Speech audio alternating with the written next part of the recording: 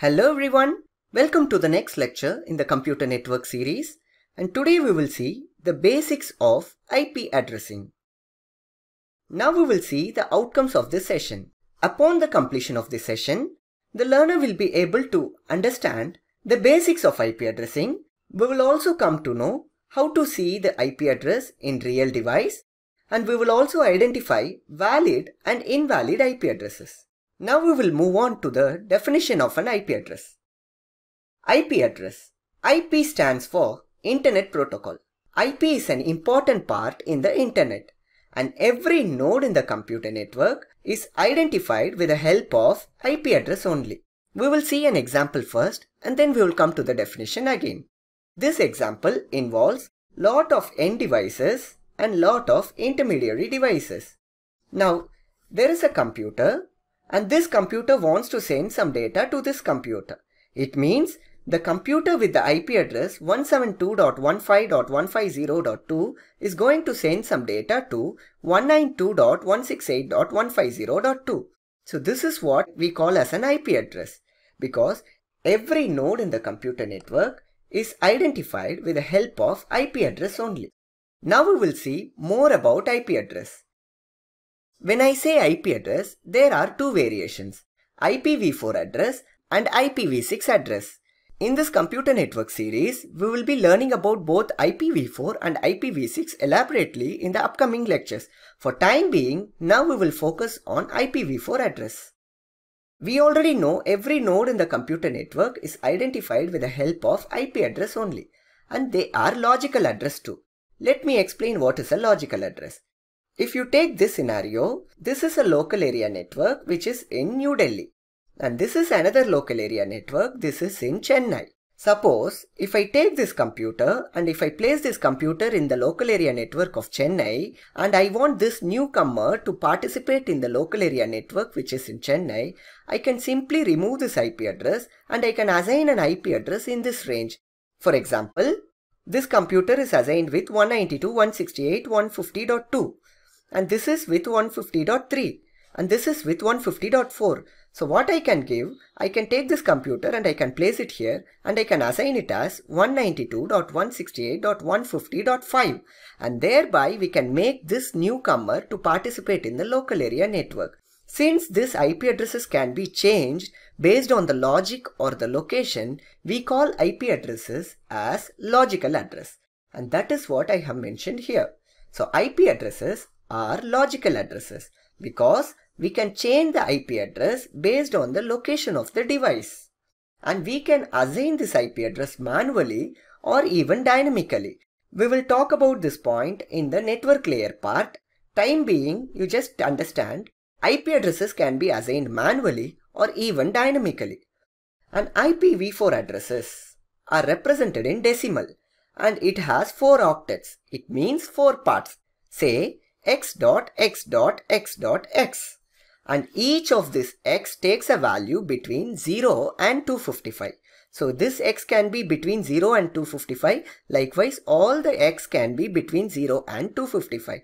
So the starting IP address will be 0.0.0.0 to 255.255.255.255 and the total number of bits in every IP address will be 32 bits.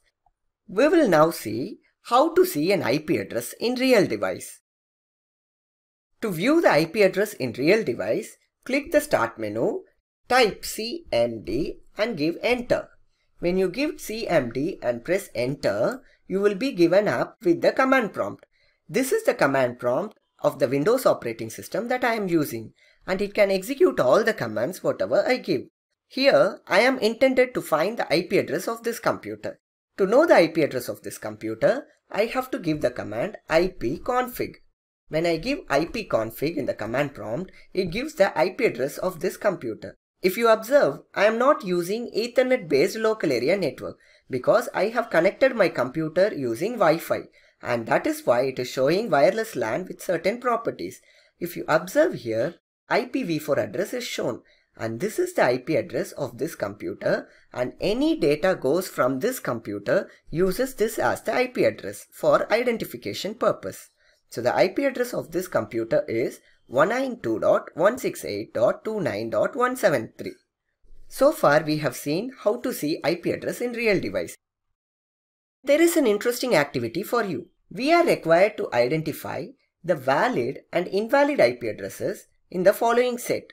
So set of IP addresses are given and we are required to identify valid and invalid IP addresses and place the options in the appropriate columns. And there are two columns given. One is the column for valid IP addresses, another one is for invalid IP addresses. Suppose if you find A is a valid IP address, mark it as A here. And if you find B is an invalid IP address, mark B here. And you should know why they are valid and why they are invalid. Please pause this video for a while and make a note of this answer against the column. If you are done, compare your answer with the answer that I am depicting.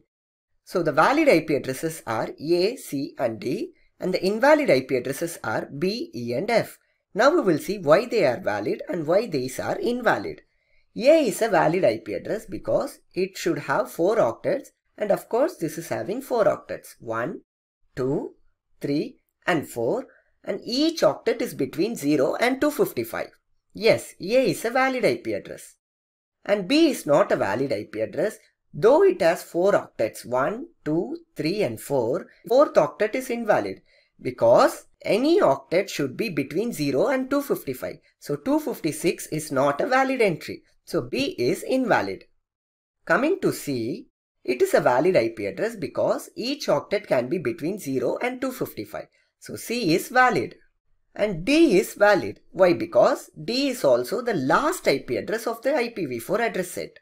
And each octet is between 0 and 255. So D is valid. If you observe E, E is an invalid IP address because it has 1, 2, 3, 4 and 5 octets.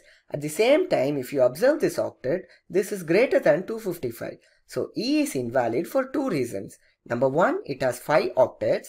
And number 2, the range in the octet is not appropriate. So it should be between 0 and 255. But we can see there are 345 and 456 and these values are not between 0 and 255. Coming to the option F, this is an invalid IP address. Why? Because there is an octet with 2E. We know very well that IPv4 addresses must be in decimal, even if he is an hexadecimal character, but that is not valid here because any IP address in IPv4, it should be in decimal only. So F is also not valid. I hope this session will be helpful to understand what are valid IP addresses and what are invalid IP addresses. That's it guys. I hope now you understood the basics of IP addressing. You will also know how to see IP address in real device and we will be able to identify valid and invalid IP addresses. Thank you guys for watching.